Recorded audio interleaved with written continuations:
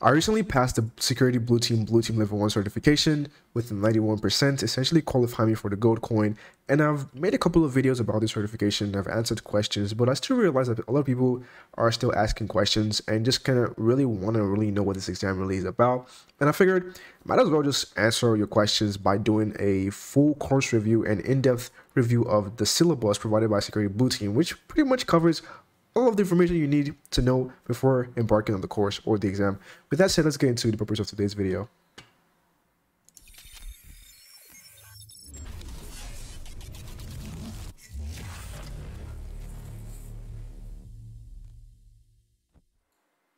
What is up guys, welcome and welcome back to the channel. If you're new here, my name is Day, and on this channel I talk about cybersecurity and other life stuff. In this video, like I said, we're gonna be we're gonna be reviewing the Security Blue Team certification um, in depth. We're gonna, gonna look at every single thing you need to know for the Blue Team Level One certification. So let's just get right into it. Um, so, like I said, I recently passed the certification. Um, I have tons of videos. I actually have a whole playlist dedicated to the certification uh, and to dedicated to Security Blue Team specifically and their training because I just really really like Security Blue Team. So I'll leave a link to that in the description. But let's get into into it. So this is the the homepage for the Blue Team Level One.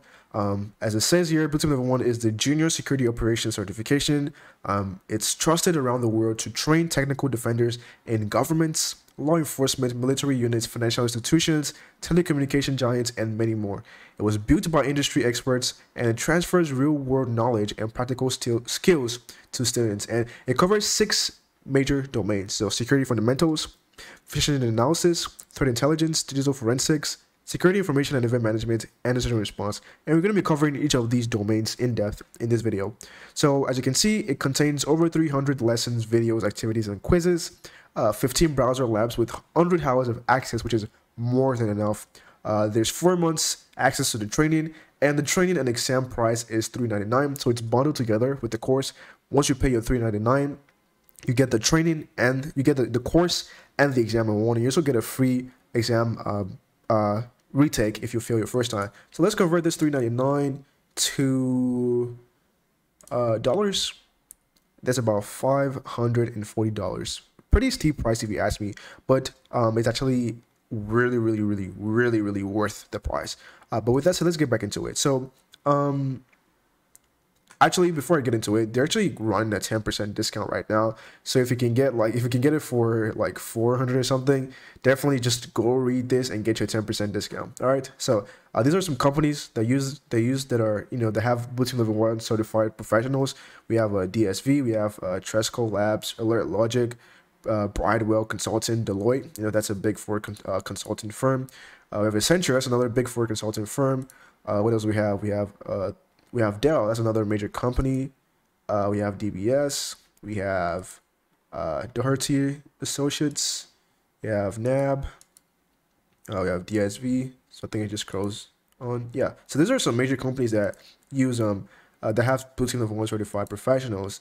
Um, and you know, we, you have two when you have two out of the big four uh, consulting companies, you know that it's a it's a it's a big deal. So why our training? Why Blue Team Level One? So the training course and certification exam were created under the supervision of the Academic Advisory Board, comprised of senior security analysts, SOC managers, and other security senior security roles, ensuring it is accurate, realistic, and applicable to modern security operations. So let's look at their advisory board. Um, these are the experts behind the training. So their, their current advisory board has a combined total of over hundreds of years of security experience. Um, and some people have their names and pictures redacted for security reasons due to the nature of their work. Um, so these comprises of security analysts, uh, senior security analysts, security managers, cybersecurity instructors, um, and they ensure that the, the certifications are comprehensive and transfer the knowledge and skills necessary to succeed in the defensive world. So we have this person here. Is a senior security analyst, uh, now a SOC analyst and a co-founder of PhishTool, another another senior security analyst. Um, as you can see here, they've worked in a cert. Uh, another security, another senior security analyst, um, and an instructor at Cyber Cybrary. Uh, another se senior security engineer. Um, by the way, this is Cyber Warrior Studio, so definitely check out his channel. He has some really really great content on there. Um, we also have a, a, training program lead. Uh, we have Jake, who's a tactical threat, threat analyst. We have uh, Sean Thomas, who's a SOC manager. We have this person who is a senior security analyst, advanced intrusion specialist. we have a principal security analyst, you have an incident responder. So that's the that's the advisory board, and you see they're very well certified. And of course, from the titles, you can you can kind of determine that they have tons of uh, years of experience. And you know, this is for the blue team level two. These other ones are for the blue team level one. This is Joshua Beaman, who's um, the founder uh, and CEO of uh, Security Blue Team. So that's the, that's the academic advisory board, and you can see there um, combines tons of people with uh, tons of experience. So let's get back into it. Um, this is success stories. All right, so uh, Security Blue Team claims to have proven that their training can help change lives. Uh, their students have broken into industry or secured promotions as a result of taking their certifications. Uh, they've developed the skills of entire security teams and forged stronger technical defenders. If you don't believe us, believe them. Read the story. So let's look at the stories. We have some success stories here.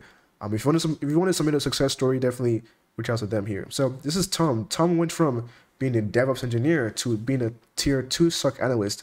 So he says here, back in 2020, he decided to transition from DevOps uh, into a role with more focus on cybersecurity, in particular uh, DFIR, which is a digital forensics and incident response. He took the Team level one after months of decision making and was glad he did. And the hands-on training gave him everything he needed to gain the coveted gold medal when he finally took the exam, and the confidence to jump straight into a senior SOC analyst role. The Blue Team Level 1 also gave him the knowledge that could combine with his previous non-cybersecurity related experience to create some well-received digital forensic challenges on the Blue Team Labs online platform.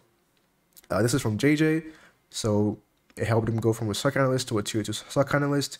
Um, Bohan went from student to a SOC analyst. Jose went from data center operator to a SOC analyst. Uh, Alex went from desktop support to uh, IR analyst. So you can go read all of these by yourself. Um, I'll leave links to all of these. As you can see, these are some success stories of people that have passed the exam and it's really helped them in their career. Um, and let's look at let's look at let's look at the course overview. So, Lieutenant One is designed to train technical defenders that are capable of defending networks and responding to cyber incidents. Below are some of the examples and experience you gain. So, you learn how to respond to phishing attacks. You perform forensic investigations to collect and analyze digital evidence. You will use a SIEM platform to investigate malicious activity. You will log and network traffic. You do log, you you you, you learn log and network traffic analysis, um, including malware infections. You conduct threat actor research. So let's let's keep let's get let's stop you know going know around all of this. We can come back to this, but let's go into the the syllabus itself, um, directly provided by Security Blue Team. So covers everything from each of the domains. So let's gonna look into it. Um, this let's see, copyright notice. All right, so I don't think I'm using this um, in any authorized manner. It's publicly provided by Security Blue Team, and I'm simply just reviewing it. So shouldn't be a problem. All right, so in the first domain, we have security fundamentals where you learn introduction, you learn soft skills, um, which is also really good. You also talk about mental health, which is which is a really really key topic that you don't really see out there as much. Um, there's also you learn about basics like this is like basic like network plus security plus stuff, but at really really at a really really high level, like not really in depth like that, but really good to know and helps you build a foundation for the rest of the course. Now you get into you get into phishing analysis this is where you learn all about phishing. Like it goes in depth about phishing. So you learn all of this stuff, uh, types of phishing emails, uh, tactics, tactics and techniques that um, um, attackers use for the phishing, and how to investigate phishing emails. You also learn how to analyze phishing and uh, artifacts, so um, URL to tools, file tools, excuse me, um, visualization tools, a bunch, of, a bunch of different things like that, and also how to take defensive actions. So if you analyze an email and you uncover it to be malicious, what defensive actions do you take? You also learn how to write a report based off of your analysis. Um, if you're going to be maybe uh, escalating that to a to a more senior analyst or just kind of documenting what you did. Of course, lessons learned, and then there's a challenge that you complete. Third domain is the threat intelligence domain. So this is where you learn about like threat actors, about threat intelligence, about APTs, um, operational intelligence, tactical intelligence. This is where you learn how to deploy MISP, which is a intelligence platform. Um, you learn about strategic intelligence, you learn about global malware campaigns, and you learn pretty much, you know, the basics of threat intelligence. Um, and this is usually applicable in some SOC environments where uh, threat intelligence is usually incorporated into analysis. Now we get into one of the fun domains, the digital digital forensic domain. This is where you learn digital forensics, you learn forensic fundamentals, you learn um, you know basics of like hashing, file systems, hard drives, and you know all of that fun stuff you learn about digital evidence. So you learn about like how to uh, uh, evidence, like how to uh, uh, uh, to gather evidence or preserve evidence, chain of custody. You learn about FTK Imager. You learn about live forensics. You learn about how to use KAPE. Um, and there are practical activities that you can actually use these particular tools in the lab. That's what I give you 100 hours of lab time uh, as part of your course. You also learn about Windows forensics. So you learn about um, Windows artifacts, um, how to conduct Windows investigations. You learn about Linux forensics as well, how to conduct Linux forensic investigation. And then you learn specific tools like volatility for like memory analysis and autopsy as well, which is a uh, really really important. Then you learn about SIEM. So this is where you learn. Uh, this is a really major part of the, the course. You learn about login, aggregation, correlation, how to use Splunk. Um, there's also like uh, a uh, Splunk crash course showing you how to like create queries or alerts or dashboards and stuff like that. And there's also like an activity where you actually use Splunk as part of your labs for, to uh, for an investigation. Then the final domain is incident response domain, you learn about the incident response life cycle, uh, why we need incident response, different things about incident response from the preparation phase to the detection analysis phase.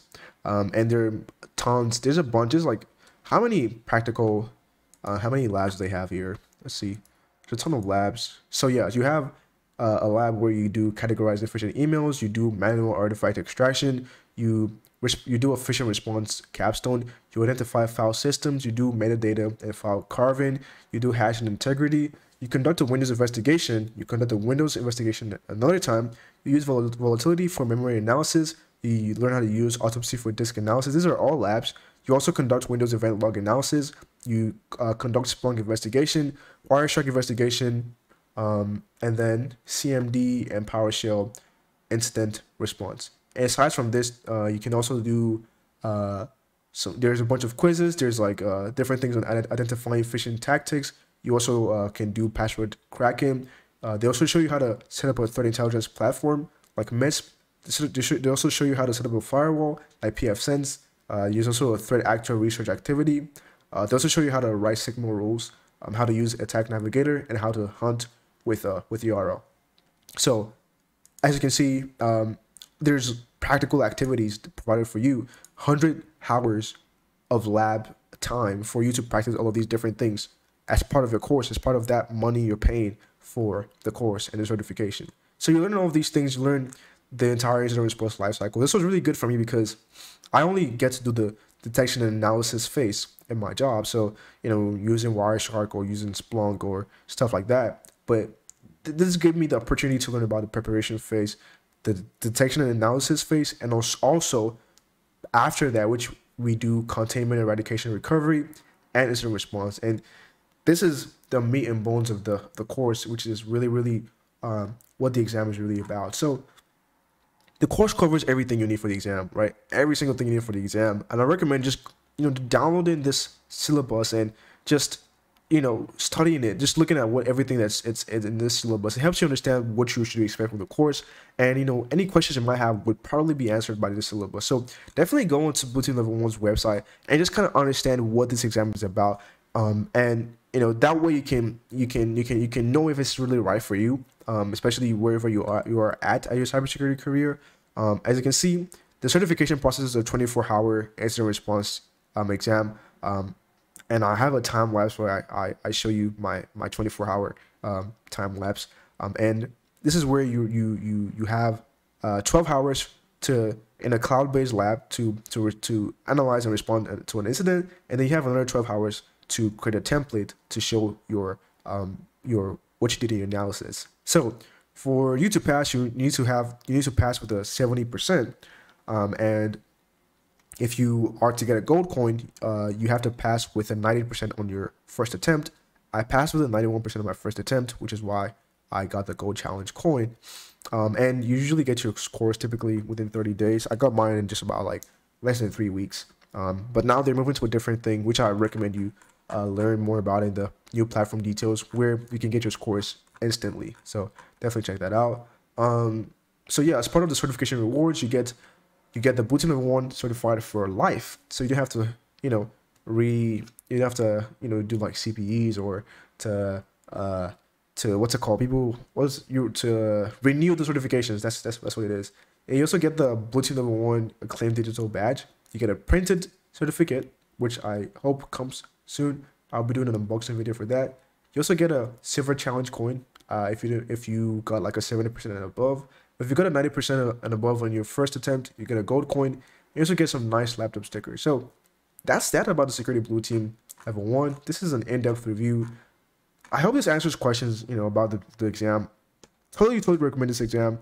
Um, I have tons of videos on my channel um, covering this exam or I actually have a whole one hour live video where I was just ask, answering questions about this exam. So I'll leave a link to it in the description in the playlist that ha- that's specifically for security blue team and a card to it somewhere um, on the screen. So definitely check it out. Um, I recommend this exam. You know, I highly recommend this exam if you're looking to get into security operations. Um, you know, to become a SOC analyst or a junior incident responder. So as you can see here, say it's it's it's it's for students or IT personnel, security analysts, um, you know, uh, incident responders, threat intelligence analysts, forensic analysts. So these these roles are roles that you can typically get if you study for this exam um, or use this course because they cover the skills um, required for these different roles. So that's it for today's video. Um, I hope this you know review covers most of the questions most people have about this exam. Um, and of course, if you have more questions, you can leave a comment or also join the Discord in the in the in the in the in the description below. I have a specific channel specifically for the blue team level one to answer any questions or to have any conversation about the exam of course not breaching the exam nda or uh, giving out any sensitive information but with that said thank you very much for watching this video if you like this video please be sure to smash the like button. Be sure to subscribe if you're new subscribe and share this video with anyone who you think the team level one would be valuable for. With that said thank you once again for watching this video. I will see you in the next video. Bye bye